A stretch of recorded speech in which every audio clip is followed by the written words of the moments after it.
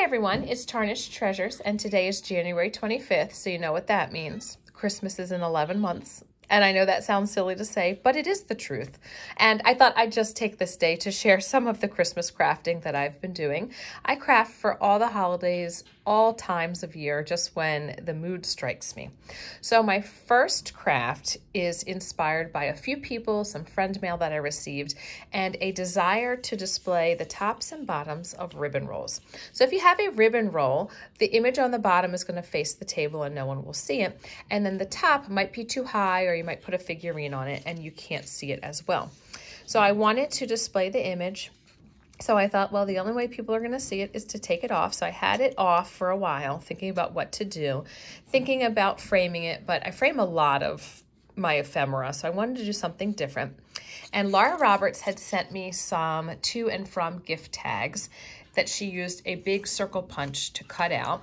So I went to the store and I wanted to do that with some of my ephemera that I, I just have so much so I was cutting circles and then I had this circle here and I realized that they were the same size, so coincidence. And I had a reflector out that someone sent me and I saw that you could put these circles on top and there was still a good amount of the reflector that you could see and you could embellish them in all different ways. So I thought, that's it. I'm going to make little ornaments, little gift tags. So for this one, some of the reflectors flatten easier than others, so this one was more 3D.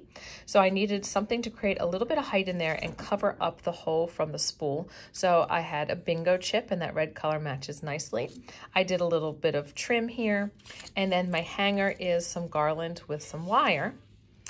And then on the back, I like them to be finished, so I chose one of my circles that I punched out and I like to include price tags so I had this one that was hanging. So the fun thing is once you punch out your circles and you just kind of have your buffet of decorating items, it's just fun to put these together. Each one is unique and different. Um, and it, it's just easy. Watch a YouTube video and, and make some of these. So for my to and from gift tags, all I did was just take two images and glue them together with a little piece of string sticking out so you could tape the string onto the wrapping paper. And then I just made sure that there were spaces that you'd be able to um, write somebody's name.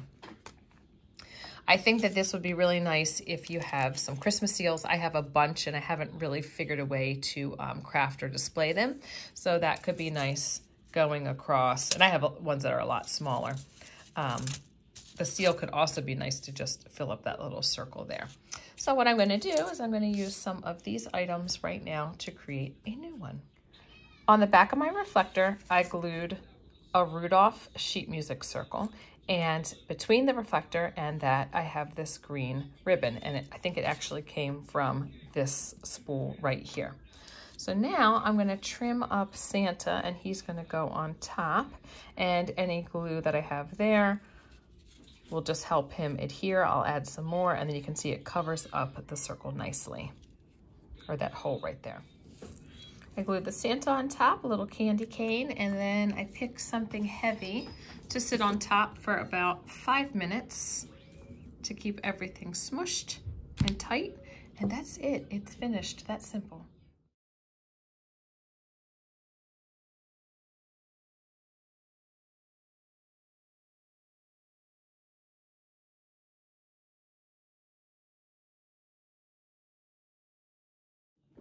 Recently, I have been crafting with bottle brush trees. I picked these trees up at Target after Christmas. They were 50% off. So the garland cost $6 and there were about 11 trees on there. So at about 50 cents a piece, I think that's a great price for a crafting material. So for this first one, I used a little glass pitcher that I picked up at an estate sale for a dollar. Because it's clear, I added some silver beads at the bottom. And then I have some white garland to camouflage the base of the bottle brush tree. And to decorate the tree itself, I used rhinestone buttons and some baker's twine. To repeat the red color, I used red velvet ribbon and a mother of pearl pin that I attached a rhinestone button to. I used a blue ceramic base for the second sculpture. I picked this up at a flea market and bundled it with a few items, so it probably worked out to be free. I used gray velvet ribbon, and I really like these containers and vessels that have a little indent at the neck because the ribbon fits nicely in there. I trimmed it with some blue-green beads, and I have a pin. The pin might be sterling. It does have a very old, fragile, blue plastic flower, and in it is a religious medal. I picked that up at a church rummage sale. Some white garland in here, and then the tree. I used silver wired garland for a little bit of sparkle, some more rhinestone buttons, and then when I cut this um, and opened up the wire, two beads became loose, so I just used those to add a little bit of color to the top, and I happened to have a button in my stash that was a very similar color. The last sculpture that I created with a bottle brush tree is this embellished Tonka truck. I picked that up at a flea market for under $2 and I liked the fact that it was not the red color like the other ones I had. I added a tree that I picked up at a thrift store for just a couple cents, tied some baker's twine around it, added some glass ornaments and my friend recently sent me this yellow Santa and how perfect that I could use it on this yellow sculpture. The last thing that I've been working on is framing up some vintage Christmas ephemera. So in this frame, which I think I paid 50 cents or a dollar for at a flea market this summer, actually yard sale this summer. Uh, it's a nice modern style, two pieces of glass and it's hinged. They sell things like this at Target and Anthropologie, so I was happy to find that for under a dollar. And uh, I have these paper towels that I purchased from eBay. I absolutely love the designs. They were printed in 1917, so a little after the Victorian period, but I think it has that nice romantic Victorian feeling. And the paper that I put behind it is letterhead from this lace company that came with um, the lace maker that I purchased in the $5 fill-a-bag um, back in the fall. And I liked that it was black and white and didn't have any color. I thought the um, the faded color of the paper looked nice with the white of the designs of the outfits. And there's some typewriter in the background, and I love that that makes like a little um, illegible font since I've covered up a lot of the words. So I wanted something to fill up some of the empty space, but not distract from the outfits. And I think that that was successful because I really focus in on these colorful pieces. And I added this little star seal up here just for a little bit of uh, glitter. I did play around with different Christmas seals, and things and ultimately I just tried to keep it simple. I did add this faded bow. It was from some little wall hanging that I picked up at a flea market for a dollar and sometimes I buy things that aren't in great shape and I can piece them apart and use them for different things. This was probably bright red at one time and now it's this awesome orange salmon color which I think complements that bow quite nicely. I have just wired it to the little lock that opens and closes the frame. I like to do things like that um, instead of permanently attach them whenever I can in case I change my mind or I don't want to damage the um, older items. But I liked it here because I thought it looked like a little book or a little journal and then this is what you would use to fashion it shut and I framed it to go with this picture of this little girl talking to Santa. My friend sent this to me in some friend mail, and I just think it's absolutely precious. I would bet it's from the 30s or the 40s, just with her outfit and the paper it's printed on. It's not a glossy um, photograph. It's uh, a matte textured like watercolor paper.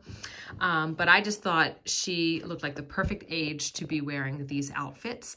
And I had this frame in my stash, probably paid a dollar for it at a yard sale as well. I love this fake um, mother of pearl look and the tarnished gold or brass to match with that frame. So they will always be displayed together. The last piece that I framed was this photograph that I purchased on eBay. I was really drawn to the drama of the high contrast black and white. I thought it was really in focus and I loved that she had stars on her little robe. So when I was at Savers, I saw this frame. Originally, it looks like it's from the dollar store. I purchased it for 80 cents and I thought it had a lot of crafting possibility with a plain white wide frame, this gold clip, and the background was just a neutral tan color. So I covered it with red and white striped Christmas wrapping paper. All I had to do was cut a little slit and a little hole and just slide it up and it uh, laid perfectly. Because I used the red striped wrapping paper, I used some red foil Dennison stars which matched the stars on her robe. And then I added this Christmas seal. I added it because the silver looked good with the black and white photo and the red was repeated again but I also liked the sentiment. I don't know if it's Christmas morning or if she's snooping under the Christmas tree before Christmas, so I thought do not open until Christmas was fitting.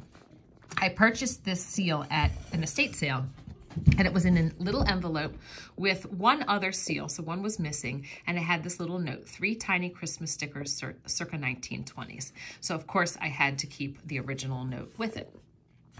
So I just wanted one more piece to finish this off. So I added these chenille candy canes. I like the red and white stripes that were repeated and there were little foil stars. So I think it was just all meant to go together. Whenever I can attach something without glue, I like to do that. So the clip, when I saw that at the store, I thought, perfect. I could clip a special picture there and not have to glue it down. And with this little piece, there is um, a sticker on the back that says Japan. So I really didn't want to add glue to that because I love knowing where things are from. It had a little piece of metal. So I was able to feed that through the frame and bend it over and it is uh, tightly positioned with no glue. I can move it a little to the side, but it's not going anywhere. Thank you for watching, and I hope you enjoyed seeing what I've been working on. Bye.